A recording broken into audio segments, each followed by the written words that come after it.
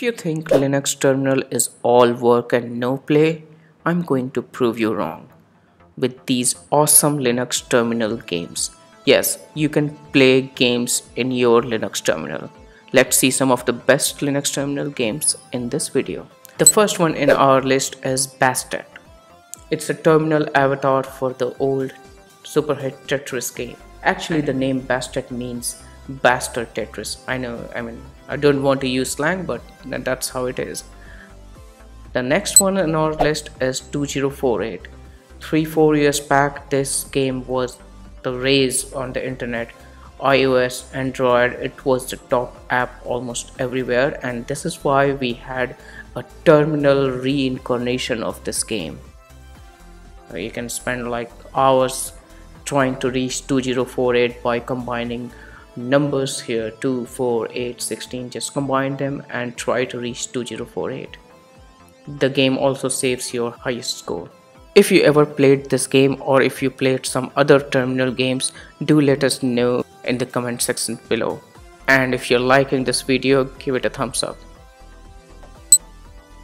The next one in our list is greed uh, you have to zoom in a little bit to see exactly what's going on. So basically it's a field of numbers and you have to move through arrows. The number which your your cursor is at present if you try to move left or right you have to move that many position the number displayed. And you cannot travel back to the place where you have been before. So if you are at 6 and you cannot move 6 on the up you have to go in some other direction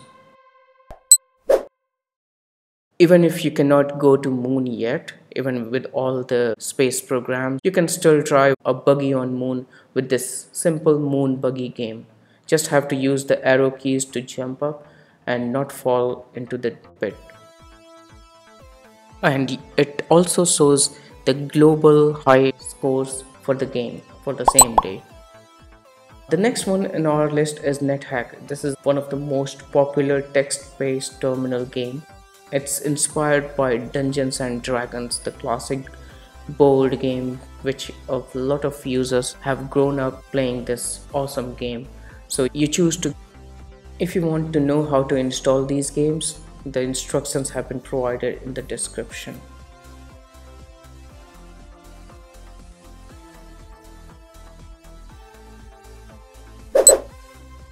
The next one is nInvaders oh this is one of my favorite games of all time. I mean i have i used it on my game boy i think.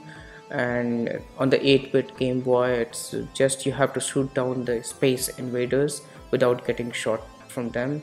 Just have to fire bullets at them and they will be killed. And when you finish all the space invaders you level up and the speed increases if you ever had that Nokia old Nokia phone you might have played the great snake game. It's just an awesome classic arcade game. You play as a snake and you have to move with the arrow keys and you have to keep eating those I don't know what they are the bugs or whatever and as you eat them the snake grows and it goes faster as well so you have to keep on eating them without hitting the walls or without hitting the body itself. Back in old days we used to have little competition of who will score the highest score in this game.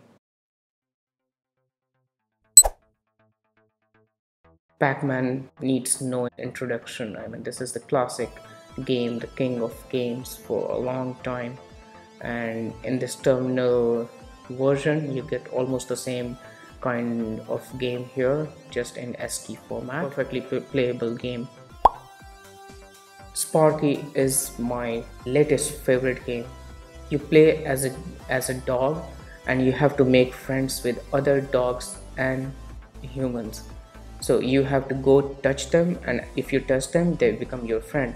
But if any other dog touches another human you have to touch them again to make make them your friend and when you finish all the space invaders you level up and the speed increases so you have to make them all green to level up so playing as a dog is kind of fun i hope you like these terminal games if your favorite linux terminal game is missed from this list do mention it in the comment section so that I can at least include it in the article on itsfoss.com. Give it a thumbs up, stay subscribed. See you next time. Bye.